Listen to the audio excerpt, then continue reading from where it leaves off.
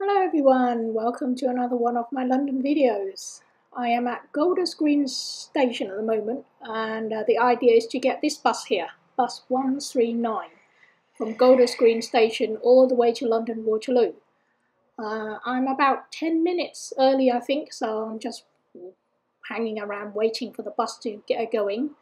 I've been to this station a few times before, so if you have been following my uh, videos, you would have uh, seen this um, station in various other videos previously. Okay, so I am now um, on the bus up in the top deck of this double-decker bus and uh, the bus is getting a going. We're pulling out of the station and as you can see here it says 139 to Waterloo Station. Oh, that's the idea anyway. It was supposed to go to London Waterloo but uh, unfortunately it didn't work out that way. Um, we got kicked out way before London Waterloo. It only went as far as um, Oxford Circus, and that's when we got kicked out of the uh, the bus. Uh, really annoying. I was really looking forward to um, do the complete journey from beginning to end, from Golders Green to London Waterloo. But no, again, it failed me. It happened quite a few times with me getting a bus. I don't know why. For some reason, either it will do a detour and end up going somewhere else, or all of a sudden it will stop and say, sorry, not going any further, this is it. And then we all got kicked out. And then we have to uh, get out of the bus and then wait, hang around, wait for the next one to come to get on it to continue. So uh, if you've been following, I think it happened to me in previous bus videos I've done as well. Uh, just really disappointing because I was really looking forward to um, sightsee of central London on the bus. You know, it would have been a really nice view. Uh, but never mind, only went as far as Oxford Circus and that's it, I'm afraid.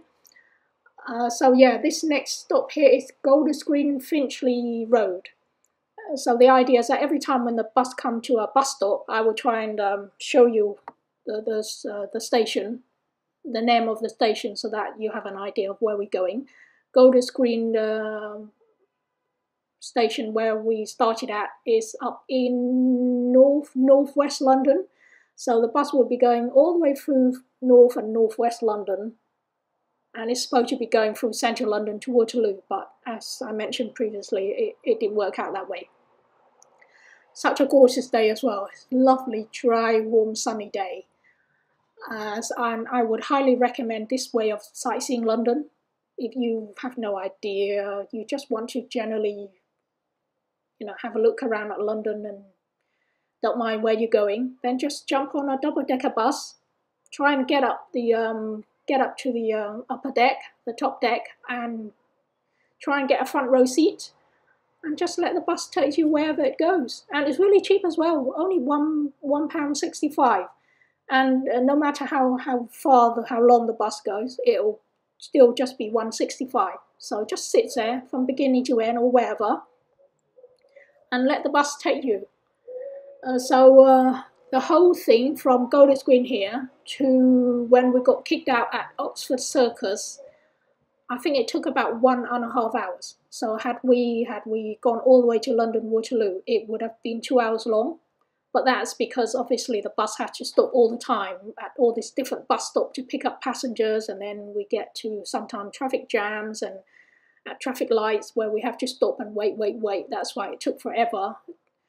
Uh, had you just kind of a, got a car and drove straight through it, it would probably take about only about half an hour, 40 minutes or so.